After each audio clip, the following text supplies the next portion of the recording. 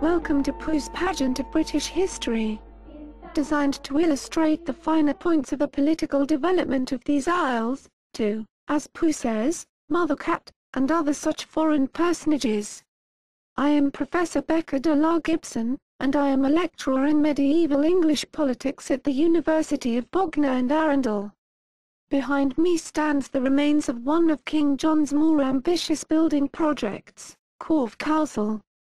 I am sort of honored, in a weird kind of a way, to be introducing this, Pooh's celebratory retelling of the story of Magna Carta, or, as Pooh irritatingly keeps calling it, because he misheard the Latin, Magnet Cart Horse. Dear Lord preserve my sanity. And he won't be told will he? Magna Carta translates as, Great Charter.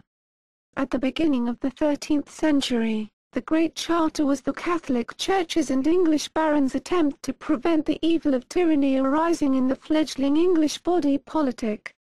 Opposing this attempt, but temporarily at bay, was probably one of the most contradictory and challenging of the Angevin Plantagenet line, King John. He was the youngest son of Henry II and the long-lived Queen Eleanor of Aquitaine. Pooh, of course, takes this lead role and makes it uniquely his own. Oh dear. Dear me. Why oh why? Ursine Wonder does his very best to bring this action-packed episode of English history to life. Marvel, as he plays multiple roles. From bad King John himself, to the church hierarchy in the form of Archbishop of Canterbury, Stephen Langton. And gender does not stand in Pooh's way either, unfortunately. Let wonderment and astonishment be your friends, as Pooh dons wimple and flowing gown to portray King John's child bride, Queen Isabella. As a professor of history, the finished production made me very emotional. Fortunately the film crew were on hand to wrest the knife from my trembling hand. Ladies and gentlemen I give you, Bad King John and the Magnet Cart Horse, by Pooh. I resign. Forget the money.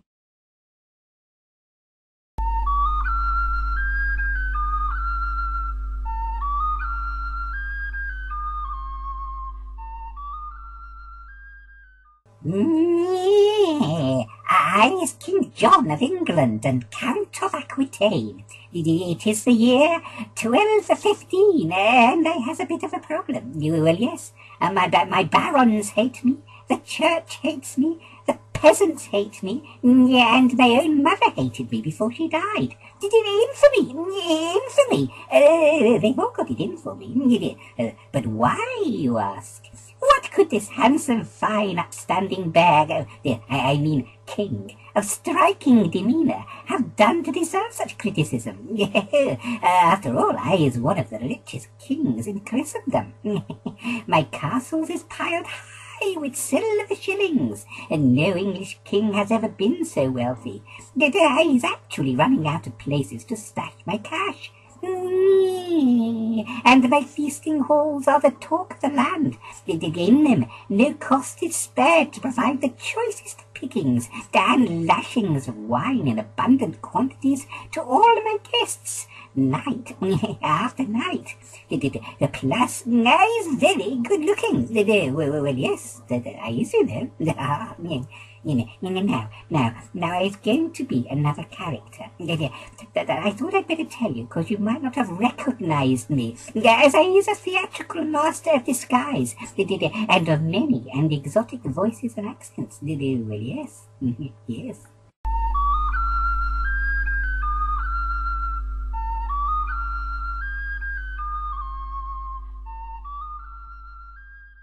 Mm, now, I is Stephen Langton, Archbishop of Canterbury. Yes, the, I is doing him now. Hearken to the story of a tyrant, my lovies. King John is a very bad king indeed. Firstly, he didn't want me to be Archbishop. He had some other fellow lined up. And when my boss, Pope Innocent, said he must have me, King John went bonkers. They then actually disobeyed the Pope and said, no, no, no, no, no. Well, well, this is the Middle Ages, my dearios, and you simply can't do such a thing, even if you is a stinky great old king. Anyway, it was simply a ploy by the nasty evil John to get my boss to excommunicate him. Pope Innocent didn't stop there. He excommunicated the entire realm. Well, King John didn't seem to care at all, and set about taking all the church lands and money he could get his greedy hands on. Meanwhile, I had to flee the country, leaving the excommunicated population without spiritual succour, and with no chance of getting into heaven. King John then commenced to bleed the land white to increase his wealth imprisoning and murdering all who he thought plotted against him. Oh, he were a bad, bad man, but his evil ways were greatly upsetting his barons, whose power, influence, and wealth John was continually eroding and ignoring. Without their support, he might well be toppled. Even he was beginning to see that. No, no, no. He's going to play a lady now. Oh, yes, the Queen of England, young Isabella, John's wife. Don't be alarmed, but you may not recognize me at all in this part. Oh, well, yes, yes, yes, yes, yes.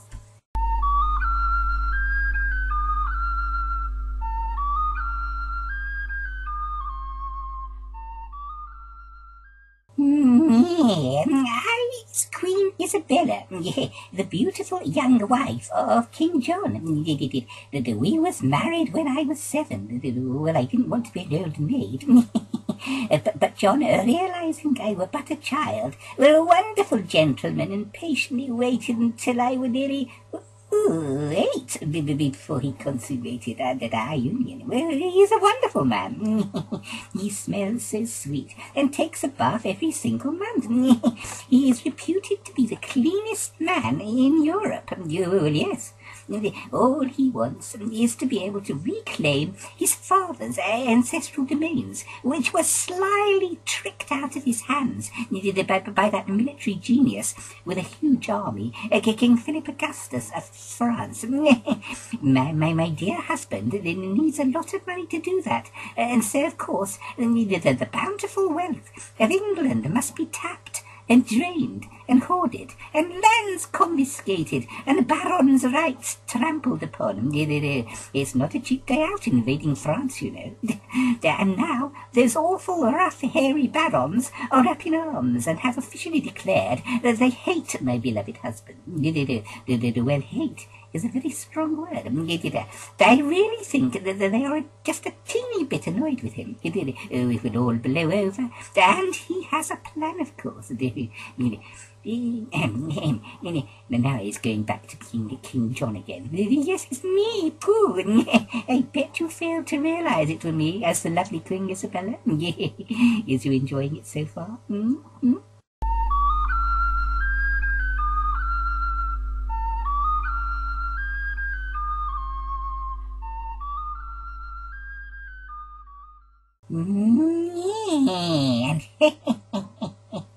Mm, he is a wily and skilful diplomat, and has got Pope Innocent off my back and turned him into my bestest friend by promising to take the cross and go on crusade to Outremer. I mean, he must be desperate for volunteers if he has believed me that I will do that. anyway, what a strange old stick Pope Innocent really is.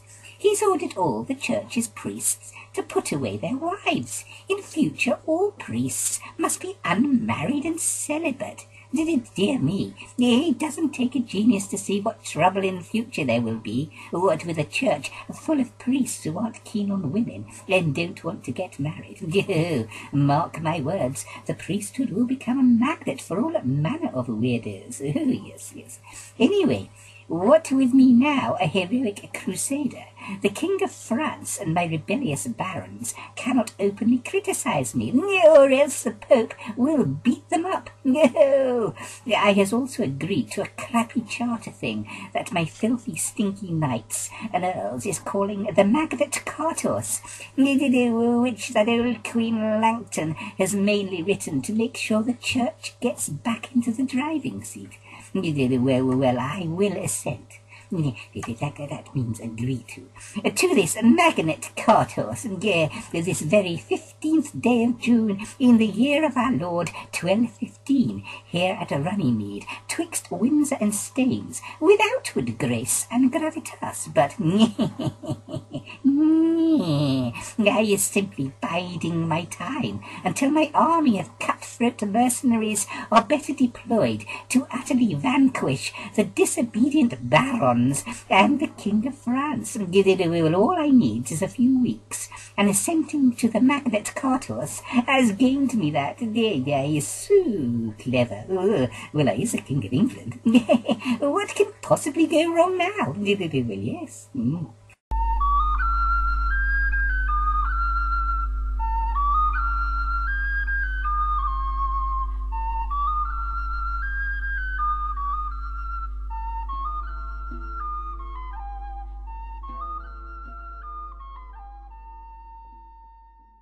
Incredible. Pooh's lawyers tracked me down, to an archaeological dig, in the pouring rain, in remote Orkney, and threatened to sue me unless I completed the assignment, and recorded the outro, for his crappy magnet cart horse abomination. So, here goes. History records that King John's subterfuge and double-dealing, regarding Magna Carta, did indeed gain him the time he needed, to renew his war against his own barons and the King of France. His eventual defeat was never a foregone conclusion, and only his sudden death, from dysentery, just a year after he had feigned assent to Magna Carta, prevented England descending into a new and bloody anarchy. Can I go back to my work now? Leave me alone, Bear.